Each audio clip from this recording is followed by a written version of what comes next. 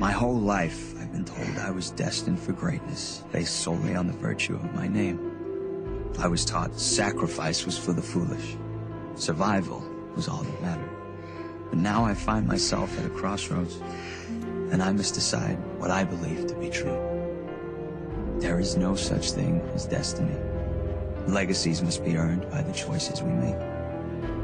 I now know that we write our own endings, and we can either choose to hide as villains or live as heroes.